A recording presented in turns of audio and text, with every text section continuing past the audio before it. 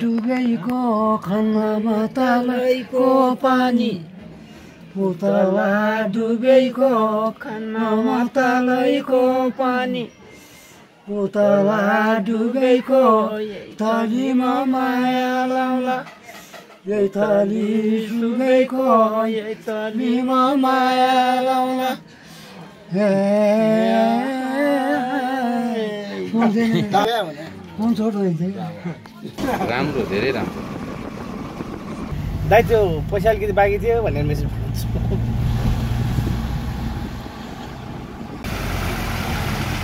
गाड़ी साइड में कर दो अपना दोस्तों रहो कभी नहीं रुको क्या मत जाओ दो घंटे के यहाँबाट भर्खरै एउटा ट्रक खसेको रहेछ। यो हाइवे कोलपुर जाँदैछौँ हामी। दाउजी मिठो के पाइन्छ? यहाँ? के अरे मासु बोलेको कट्टबार सेकुवा साँधेर च्याप्पा त्यो जिउरा तपाईँ जस्तै मोटाइन्छ हामी खायौँ भने। मभन्दा बढी मोटाइन्छ कि? हो। म त सुगर रोग लाएर अलिक ला ए हस्।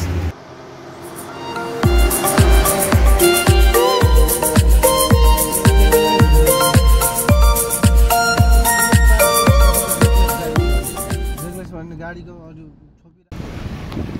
मुगलिङको नयाँ पुल।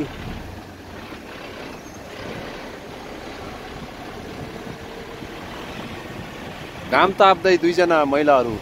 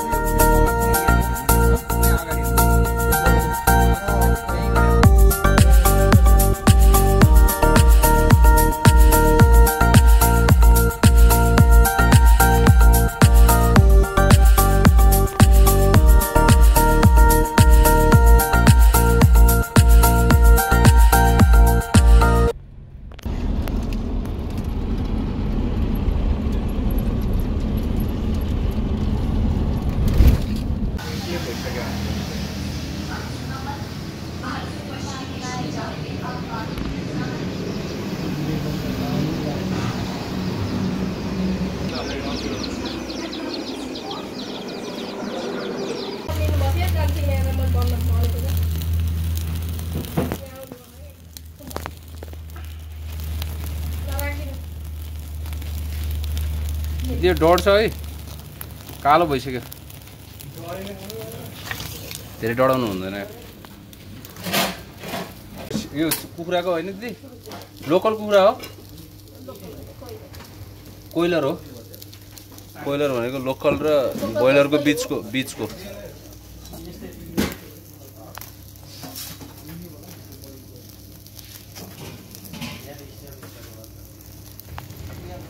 आउने आएर नखाइ नहुने चिज के हो? सेकुवा। हँ? कुखुराको सेकुवा? यो खारै जानु पर्यो। अनि हाम्रोमा त भेजिटेरियन पनि हुन्छ उहाँले के खाने? उहाँहरूले यस्तै यही चमिनहरू हुन्छ सेल तरकारी हुन्छ। सेल तरकारी? चनाहरू हुन्छ। हजुर। गत्ता यहाँ छ होइन? त्यसलाई चाहिँ माथि राखिदिनु होला है। पर्ला नि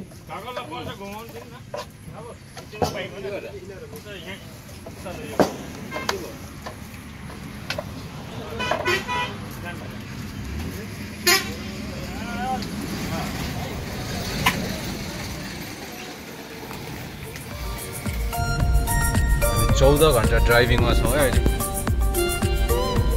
बिहानबाट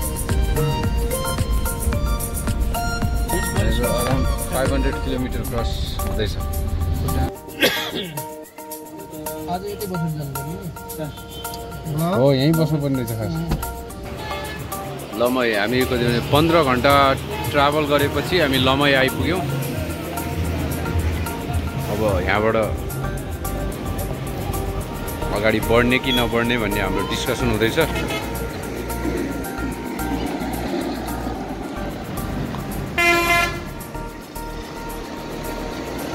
ए, लमईको बजार।